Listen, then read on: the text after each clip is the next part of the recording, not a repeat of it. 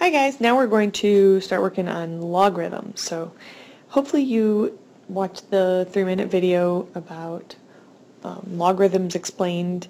I just think it did a good job of, you know, kind of in a nutshell explaining what logarithms are and what they're used for. But really what they're used for is to find values of exponents.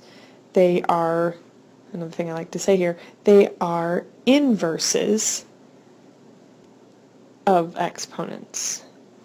So logarithms are inverses of exponents.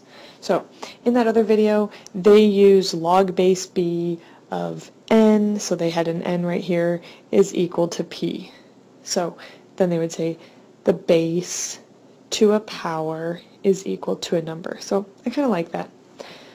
Base to a power is equal to a number. Really, it's just going back and forth between exponents and logarithms. So the really the first thing that we're going to practice doing here is rewriting an equation, an exponential equation, into logarithmic form. So our base is 2, so we're going to write log base 2. So there's that 2 here. The 2 is the base of 8 is equal to the power is equal to the power of 3. And really, it's a matter of just getting good at going back and forth between log form and base form. Alright, so the next one is going to be log. Base is always a number that kind of hangs down. The base on this one is 3, so the 3 is going to hang down of 9 that's a 9 there. And then this is equal to our exponent. The exponent is 2. So we're just rewriting it in another form. Alright, maybe hit pause, see if you can try the next one. Just try to rewrite it in log form. Alright, let's see how you did.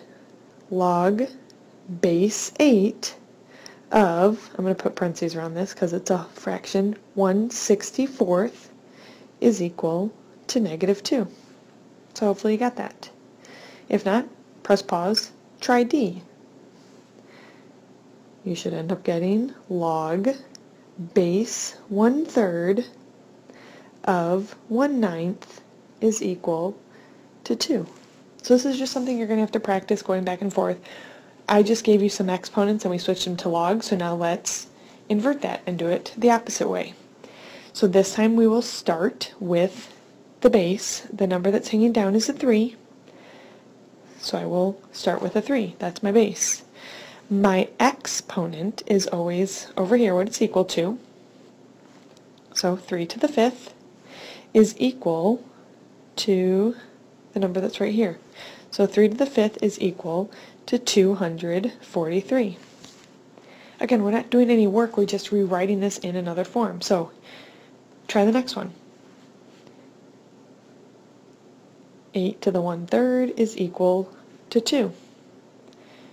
Go ahead, hit pause, try the next two, see if you can get those. C you should have 9 to the first is equal to 9, and then D is 3 to the negative third power is equal to 1 over 27. Alright, we're going to take a look at some properties, some special properties of logarithms.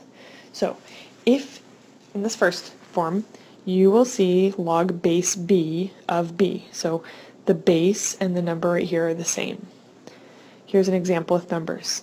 Log base 3 of 3. So if those numbers are the same, it's always going to simplify to 1.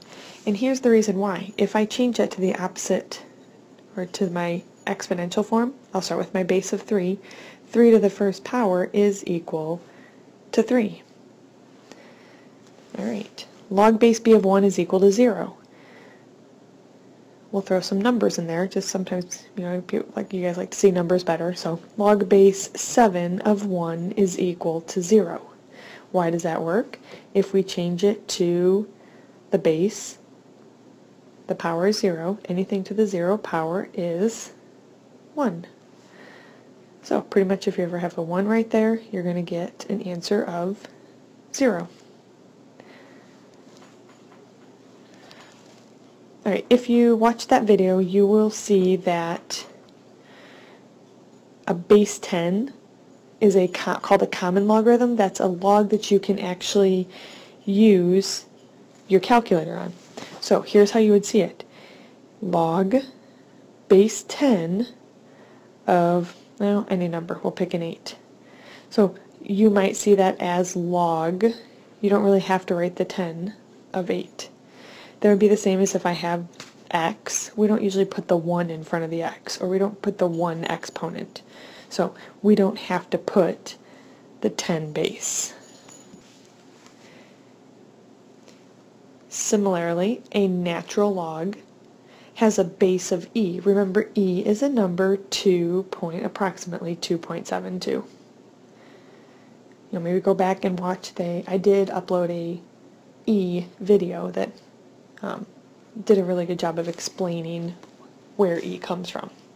But anyway, so a natural logarithm has a base of e. So this would be log base e of, you know, something 2. We write that as ln. It's used so much that we just, we write ln of 2. So if you ever see ln, that just means that, that it has a base of e. And there's actually a button under calculator, ln. All right, evaluate. Remember, evaluate means give me a number answer using mental math. So we're going to try to do these in our heads. First thing I'm going to do is set it equal to x. I'm going to change it. I'm going to write it in exponential form. And then I'm going to change each side to have the same base.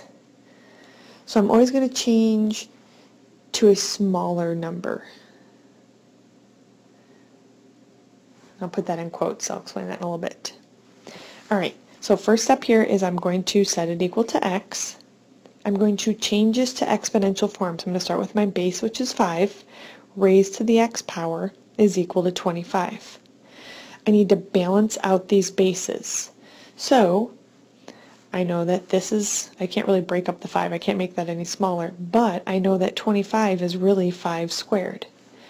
Notice now we have the same bases, so all we have to do is set the exponents equal. In order for this to work, x would have to equal 2. Let's try the next one. First step is to set it equal to x, change it to exponential form. So I'm going to start with my base, which is 9, raised to the x power is equal to 27. Now, 9 is the smaller number. It's not really possible for me to take 27 and break it down to 9, because 9 squared is 81. That's too big. But think about the 9. You can break the 9 up into 3 and 3. So I can rewrite this as 3 squared. There's still an x in the exponent. 27 you can actually break down into 9 times 3, 3 times 3, so 3 cubed. Now the bases are the same. The bases are the same, so I can go ahead and just set my exponents equal to solve for x. 2x is equal to 3, divide by 2, x equals 3 halves.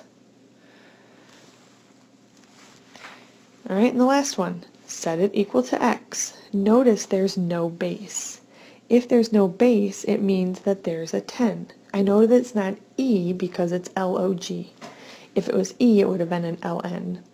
So I'm going to change this to exponential form. 10 to the x power is equal to 1,000. I notice that I can break the 1,000 into 10 cubed. Bases are the same, so x is equal to 3. Yeah, we'll try a few more. Set it equal to x, change it to exponential form. The base is 4, 4 to the x power equals 1 eighth.